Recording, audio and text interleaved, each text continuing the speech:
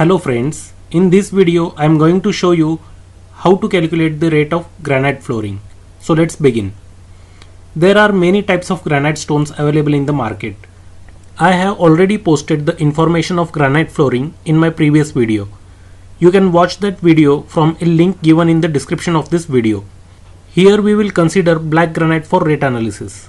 We need to check the cost of finish before purchasing the granite stone that is flamed finish or leather finish etc. The finishing can be done in factory or at site. Here I am not going to consider the cost of finish in this rate analysis. So let's start. Granite stone required for 1 square meter area is equal to 1 square meter. For granite stone the wastage is 10% that is 1 into 10% is equal to 0.1 square meter. Granite stone including wastage for 1 square meter area shall be 1 plus 0.1 is equal to 1.1 square meter. Consider rate of black granite stone is 100 rupees per square feet. So total cost of granite stone shall be 1.1 into 100 into 10.764 is equal to 1184 rupees. Epoxy grout for joint filling. Epoxy grout cost is very less so we will not go into that calculation. Generally, epoxy grout required for granite stone flooring is at the rate of 80 rupees per square meter. So for 1 square meter area, the cost of epoxy grout is 1 into 80 is equal to 80 rupees. We can use adhesive instead of cement sand mortar. I will create separate video for calculation of adhesive. Here we will consider a cement sand bedding of 25 mm thickness in cement mortar 1 is to 4.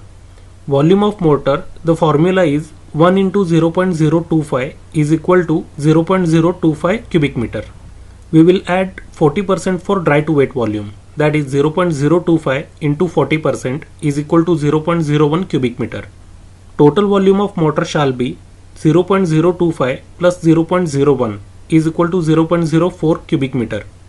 Now we will calculate the number of cement bags.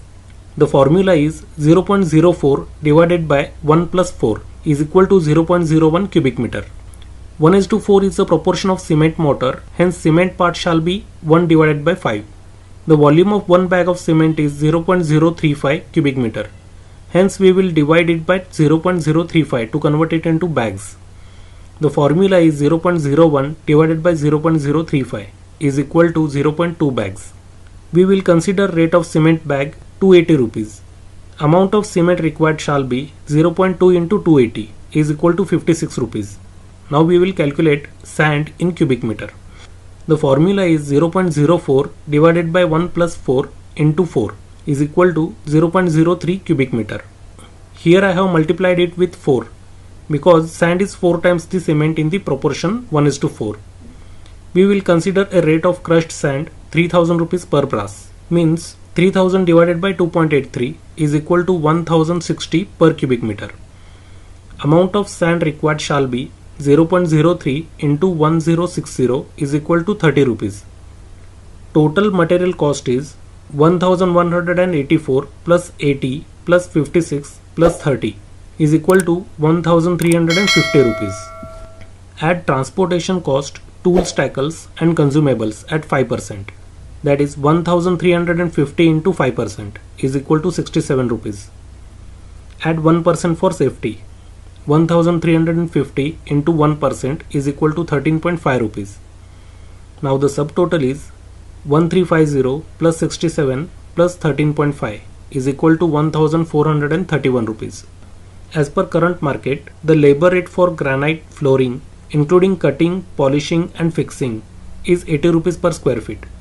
Hence for 1 square meter the labor cost shall be 1 into 80 into 10.764 is equal to 861 rupees. Subtotal is 1431 plus 861 is equal to 2292 rupees. Add 15% for overhead and profit. 2292 into 15% is equal to 344 rupees. Now the rate for 1 square meter of granite stone flooring is 2292 plus 344 is equal to 2636 rupees. Important note the material rates considered in this rate analysis are exclusive of GST. The material and labor rates may vary depending on the site condition and type of project. I have not considered the wastage of cement and sand in mortar. You can consider it as per your convenience. So friends, this was the rate analysis for granite stone flooring.